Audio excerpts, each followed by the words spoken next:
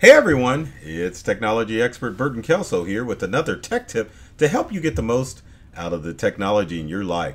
Today we're talking about how to prevent IP address hacking because there is a such thing as IP address hacking. Now, to give you a little background, an IP address is your identifier for your devices on the internet. Now, there are two types of IP addresses, but overall, every uh, device that you use has its own IP address, which allows you to connect to websites, allows devices to talk back and forth, and it basically looks like a series of numbers, like that. Now, this IP address that's displayed in the image is an IP address that goes to nowhere, but at least you get the picture as far as IP addresses are concerned. Now, um, what are the differences as far as IP addresses are concerned? So you have both a public and a private IP address, which works in two ways.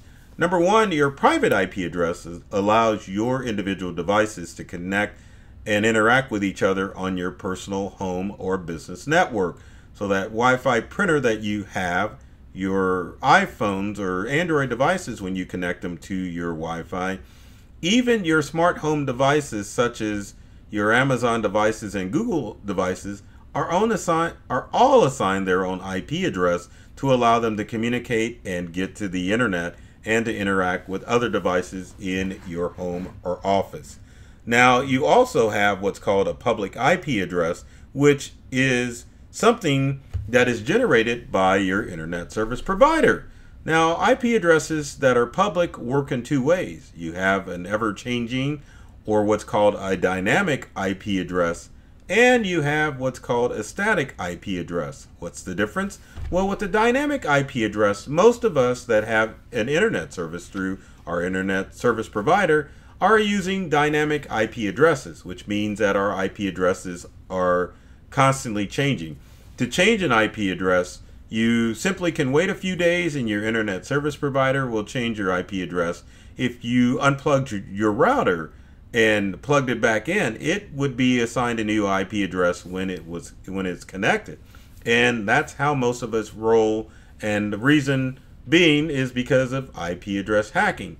Now, in a lot of instances, as far as a pri- uh, public or not public IP address, but a static IP address, uh, businesses will set up static IP addresses to allow people to connect to a server or multiple servers without it jumping around.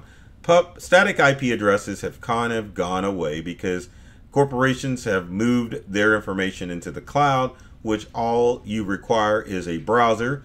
Also, remote access software such as LogMeIn, TeamViewer, and even um, Remote Assist from Microsoft don't require an IP address because there's an identifier on the other end that allows you to connect ro- remotely to another computer.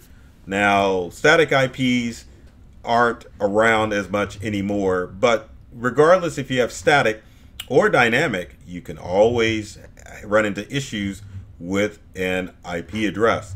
And now keep in mind that IP addresses don't give criminals your information directly as far as name, address, and any other personal details, but an IP address can provide a criminal access to the city that you're in and maybe who you're using for an internet provider.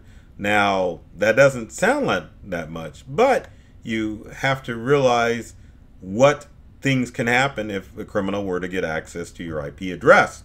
So, what can happen? Well, number one, again, can access your sensitive information, such as your geographic location. Number two, they can impersonate you uh, for malicious purposes. So, for example, let's say a criminal were to get access to your IP address. They could um, uh, potentially copy your IP address and put it in their router or another device and get you into big trouble by looking at inappropriate sites um, and other things that would lead law enforcement to your location as opposed to their location.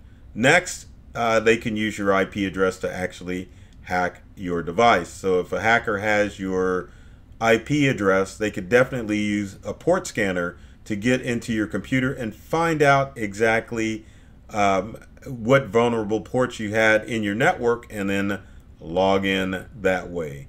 But with those things in mind, how are criminals getting access to your IP address? And you would be surprised in the variety of ways. Really, there's only three, but at the same time, let's take a look and see how criminals can get access to your IP address. And you're going to be shocked with this. So, number one, they can access your emails. Lordy, lordy, lordy. Your email address is betraying, betraying you. Uh, email programs such as Yahoo and Outlook actually put the IP address in the header. Now, who's using Yahoo? Some people still are. A lot of people are still using Outlook. And you have to be careful because it could be broadcasting your IP address if you decide to st start a conversation with someone malicious. Let's say that a criminal sends you an email and then you respond back, then they've got your IP address. So beware of who you email and make sure that you pay attention to your email service to see if it's giving out your email address. Next is vulnerabilities within your router. Now, your router can definitely betray you if you don't update your router and you can um, and you need to make sure that you are changing the login credentials for your routers to ensure that criminals can't get on Google to find that information and know the username and password access to get into your router. Uh, lastly, the internet. Online ads and bogus websites that cyber criminals set up can potentially give out your IP address so that they can get your IP information. Uh, uh, like I was saying before, now your IP address is changing on a constant basis, but it doesn't sometimes it doesn't change as often as you think and you really have to be careful where you go on the web in order to make sure that you are keeping your information safe. So, what can we do to prevent criminals from getting access to our IP addresses and committing IP hacking? Well, the number one way would be through some sort of VPN or virtual private network. A virtual private network uh, masks your IP address so that when you're surfing the web, criminals can't see your IP address. And sometimes a VPN will put you in a different country, making it even harder for criminals to get access to your information. So VPNs are a pretty safe tool to use. While not necessary, it is an important step to make sure that you have all of your tools in place to keep criminals from getting access to your information. Of course, most attacks are cyber are socially engineered, so good thinking and also making sure that you're using your built-in operating systems antivirus software will keep you out of the hands of criminals.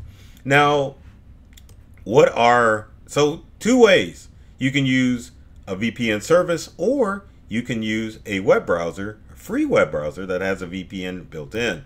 So some of the tools out there are Opera, which is on the far left hand side.